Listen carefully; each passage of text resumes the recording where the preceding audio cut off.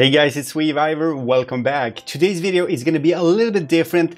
This one is quite an urgent video aimed to all the Pimax backers who has recently already received their Pimax 8K or 5K Plus headset. There is an issue with the latest PiTool version, which is of course updated automatically. So when you are starting off your headset, probably for the first time, you're going to encounter some problems that I haven't seen before at least. So I'm gonna guide you through some of this stuff that are wrong here right now. So don't get panicked if you just started off your Pimax for the first time. This is just about the latest update. There has been an update of PiTools from version 76 to 84. It was made yesterday actually, but I didn't try it until now. I updated it and also after the installation of the PiTool, there was a new firmware update who updated the firmware of the headset of course. Nothing has changed in the menus or the options but there is a significant difference in how Pimax is now handling the resolutions with PiTool. Let me just give you an example. At PiTool at 1.0, the render quality slider and normal field of view, we have a totally different resolution now. It's 4600 times 3900. This is actually the resolution we were using with PiTool at 1.5 before. As you can see, SteamVR is recommending us to use uh, SteamVR super sampling at 42% only. This was definitely not the case with PiTool at 1.0 before and this leads us to some problems. Uh, first of all, game related problems because there are some games that not gonna, gonna even start in that high resolutions and I'm gonna show you that in a moment. But first off, we're gonna go through a couple of the resolutions here. We have PiTool at 1.0 with normal field of view and this is the resolution. Of course, we can lower the resolution down from 100%, the SteamVR super sampling, uh, by going down to 50% or even down to 20% and we get kind of a reasonable reasonable resolution, maybe at 40%, which was uh, previously the PiTool 1 resolution, kind of. But the problem is that ever since PiTool 76, the resolution or the image quality is getting decreased quite a lot going down below 80 well at least if you ask me and so I would not recommend going much lower than this. Anyway we have a problem here. Let's try out another PiTool quality value of 125 and we're going to start up Steam or restart Steam again because that's necessary to do between every change we made in the PiTool. So let's start it up again and now we see a resolution Using PiTool at 125 with normal field of view, we see a resolution of 5700 times 4900. This is quite a crazy resolution. SteamVR is recommending us to use 26% um, of super sampling down here and it's kind of in the bottom and I would say that if you go down to this resolution it's gonna get really ugly looking unfortunately. So yeah, uh, not an option at all. So let's go back to 100 and check out the PiTool at 1.5, which we actually could use with an RTX 2080 Ti, for example, to play some of the games, and some of the games were actually fully playable.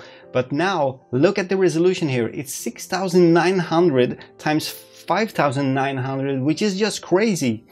SteamVR is recommending us to use a resolution of 18%, which is even below the limit we can actually put the SteamVR super sampling slider at.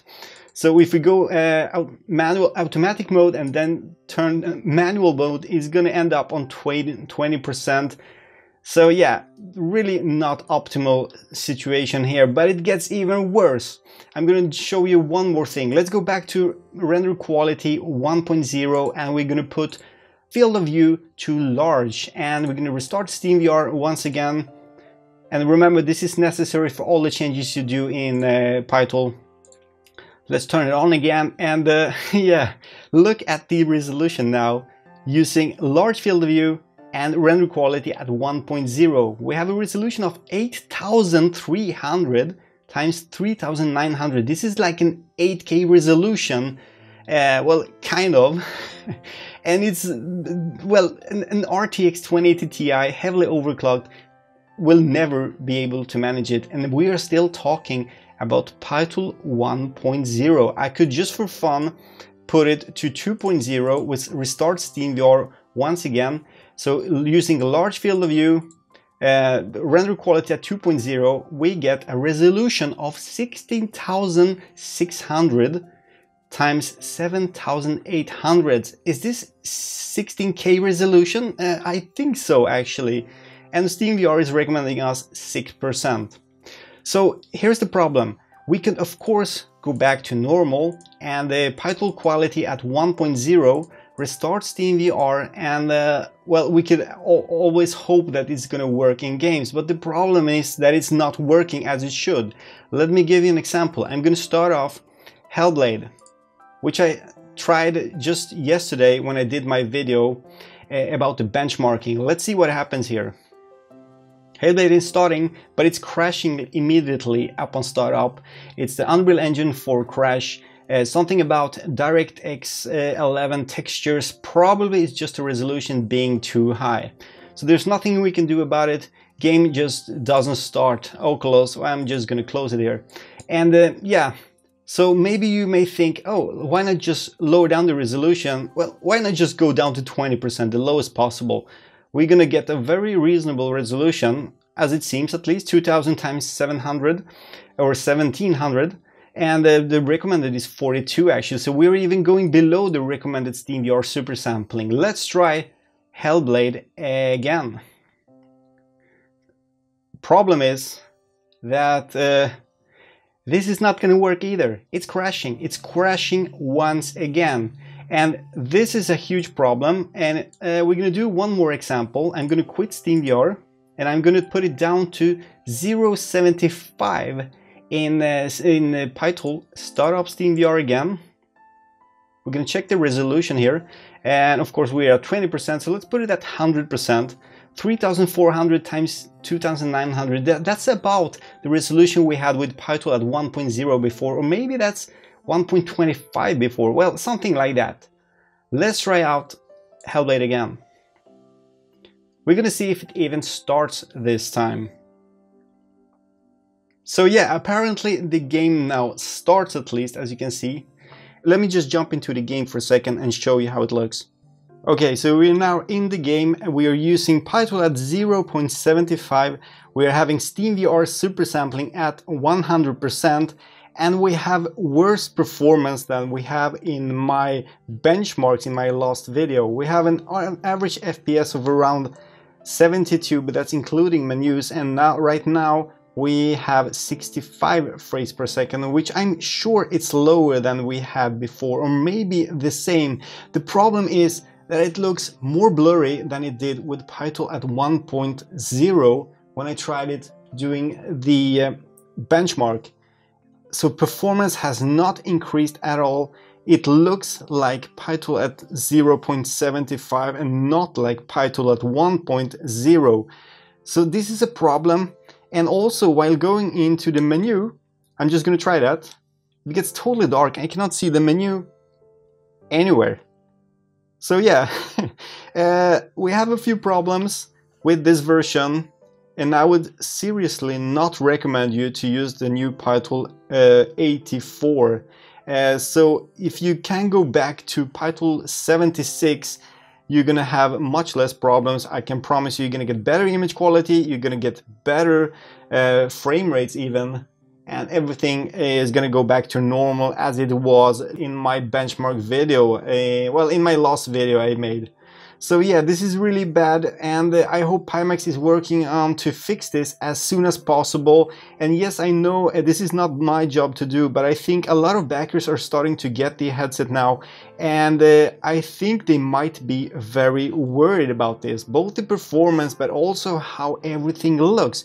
There is one more problem and that is when you jump into the uh, SteamVR dashboard again, uh, just quit the game, nothing looks as sharp as it did before with this PiTool 84 version. The clarity is just not there on the Pimax 5K Plus and it looks uh, slightly worse on the Pimax 8K as well. Nothing really looks as it did before and this is one of the reasons I'm really telling you to switch back, use the PiTool uh, 76 version, I'm gonna give you the link in the video description so you can just download the 76 version which works much much better than this. This is very disappointing. There must been something wrong with this update and uh, yes I think I've said enough for this time, guys. I really hope uh, this is going to help you out, especially you that just got your Pimax headset. I, I, can I can imagine that you're quite frustrated right now, or maybe disappointed as well, especially at the clarity, because nothing really is super sharp as it was before. Not even using PiTool at the 1.5 or even 2.0.